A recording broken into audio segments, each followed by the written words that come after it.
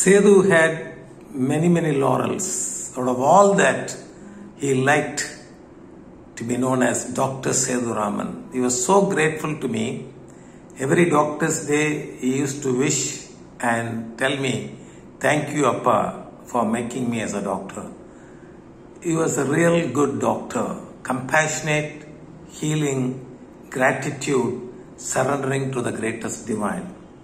He's a role model. He used to say, I feel I enjoy when I'm with my patient care services. When I give happiness, I feel so good, Appa. Even though at times he's tired, I used to tell him, You're tired. Can you take a little bit rest? He used to say, I love the profession. I love being a doctor. And I'm extremely grateful for the medical profession and especially for you. I remember in this beautiful Doctor's Day, my dear Sethu, it's so nice of you. I remembering in this beautiful Doctor's Day.